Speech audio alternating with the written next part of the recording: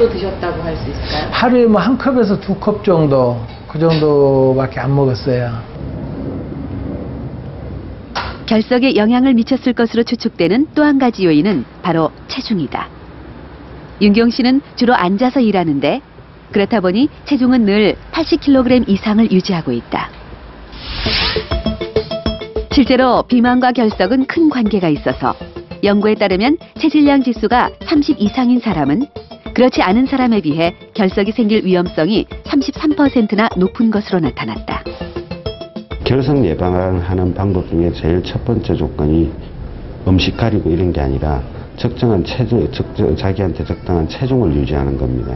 그러고 균형 잡힌 식사를 하는 거고 소식을 하는 거고 그러고 물을 많이 먹고 그러고 또 운동을 하고 그렇게 한 다음에 어, 주기적으로 자주 생기는 사람들은 병원에 찾아서 검진도 한 번씩 하는 게 좋고 그래야 119 신령은 이런 일을 미리 예방을 할 수 있으니까 그죠?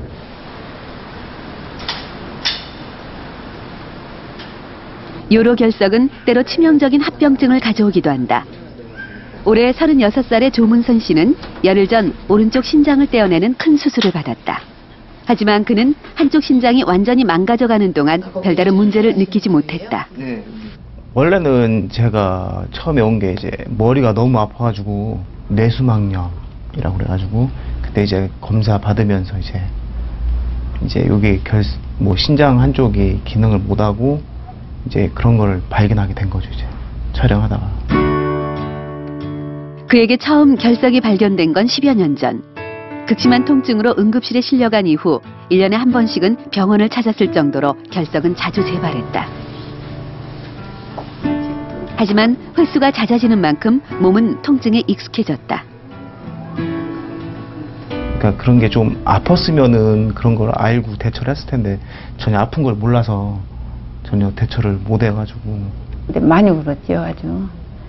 많이 울고 그냥 아직 나이도 젊은데 조금만 일찍 갔으면 살릴 수 있을 거를 신장을 한번 망가지면 다른 장기 가지 안 해가지고 살릴 수가 없잖아요. 그래서 아휴 진짜 찢어졌죠 그냥. 뭐 결석이 거의 결석은 그 위치나 증상의 급성도에 따라 간혹 통증을 못 느끼는 경우도 있다. 콩팥이 있으면 하지만 결석이 생긴 채로 오랜 시간 방치되면 상태는 점점 심각해진다. 오른쪽은 지금 요 왼쪽 하얗게 보이는 내부와 거, 오른쪽 신장 그거는 요관 부위에 보이는 하얀 덩어리들이 바로 다 결석. 좌측 콩팥에는 약 아, 발견 당시 0.4 조문선 씨의 왼쪽 신장엔 무려 6cm가 넘는 돌이, 5.5cm 정도. 오른쪽 2cm 요관엔 정도 되는 2cm 이상의 돌이 소변의 흐름을 막고 있었다. 아, 제일 중요한 합병증은 결국은 결석으로 인한 신장 기능이 떨어지는 거고요. 그 두 번째로는 염증, 염증으로 인한 2차적인 아, 폐혈증, 그리고 아주 심할 경우에는 신농약, 고- 아, 신장에 고름이 잡히는 그런 합병증도 발생할 수가 있습니다. 오른쪽 신장을 제거하고 왼쪽 신장의 결석도 대부분 제거했지만 언제 또 결석이 생길지 모르기 때문에 안심할 수는 없다. 수분이 배설되는 대표적인 그 통로가 이제 두 가지 땀하고 소변인데 이 땀을 많이 흘리게 되면 상대적으로 소변을 통한 그 물의 배출이 줄게 됩니다. 그렇게 되면 결국은 소변 내에 있는 각종 무기질의 농도가 상대적으로 올라가는 상황이 초래되기 때문에 그것으로 인해서 결국은 결석이 더 쉽게 생길 수 있는 조건이 초래된 거죠. 요로 결석과 관련해서는 몇 가지 오해가 있습니다. 먼저 맥주를 많이 마시라는 건데요. 맥주는 일시적으로 소변의 양을 증가시켜서 이미 있는 결석을 몸 밖으로 배출시키는 효과가 있습니다. 하지만 맥주에는 결석을 만드는 주요 성분들이 들어있고 탈수 증상을 초래해서 오히려 결석을 악화시킬 수도 있습니다. 또 멸치나 우유 등 칼슘이 많이 들어있는 식품들은 요로결석 환자들에게는 좋지 않다고 알려져 있는데요.